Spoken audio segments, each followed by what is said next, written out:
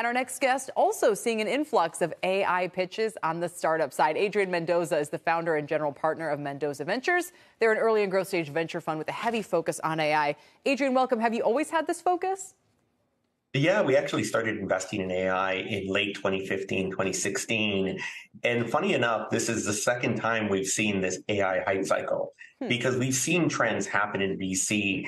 They die out and really what's happened is with the kind of the lessening of excitement in Web3 and crypto, a lot of those dollars and attention have now gone back to AI. Yes. Which is really exciting to see this cycle happen again. And probably healthier, maybe from a societal point of view, except that we just spoke with the CEO of Tenable last hour who warned that maybe we let the cat out of the bag a little too quickly here. I mean, are you worried about there maybe there should have been a few more usage guardrails in place? Um, before we kind of just unleash the OpenAI experiment on the world? Well, part of the the issue with AI is that it's it's all really about data, and it's garbage in produces garbage out. Right. In our view as an investor, we really believe data is the new currency. But it's really you have to take a step back and investor. And when you hear the startup pitches about AI, it's really looking at if you have good data to start with, then you're going to be able to have incredible results. Because in you know data in the past is reporting data in the present is analytics. Being able to predict data in the future that's where the ai predictions are going to happen. And so we're still really kind of worried about where these good data sets and training data sets are going to happen.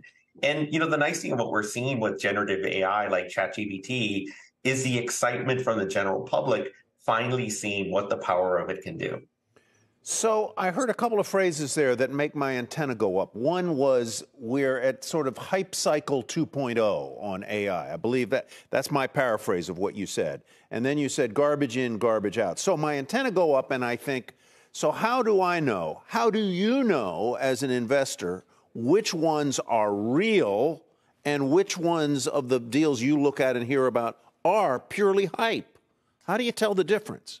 Which ones are garbage? You know, which ones are good?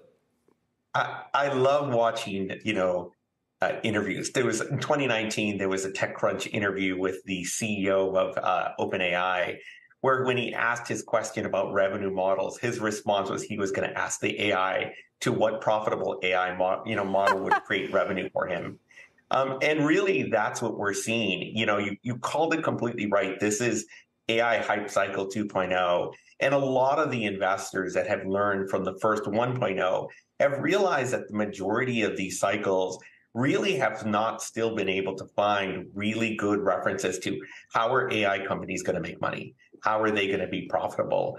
And there are companies out there, you know, one of our companies, Fiverity and Praxis Data and of Canada, where they're looking for data insight but using data that exists from so, customers. So what's the, tel- the what's the telltale for you? Fiverity, I see you're, you're sporting one of their hoodies there, or quarter zips, or whatever.